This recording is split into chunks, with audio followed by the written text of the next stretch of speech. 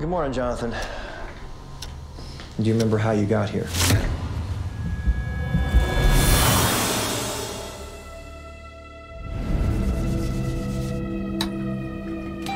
Hey, sorry I'm late, man. I got caught up. All right, I gotta get out of here. What's the rush?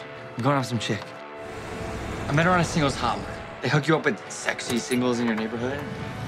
Let's go. Do you do this a lot?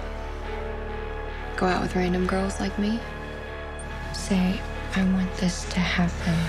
I want this to happen. Thank you, sweetie.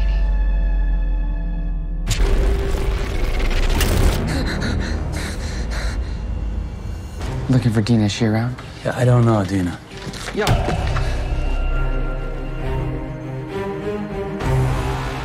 You've been exhibiting some very erratic behavior lately.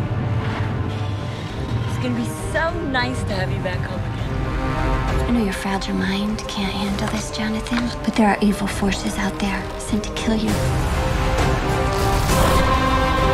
It's not that far beneath your skin. Dig it all out. Just relax. It's not real, okay? You failed your drug and alcohol test. It's not possible. It's all right here. Dig it out. You're going to feel a prick.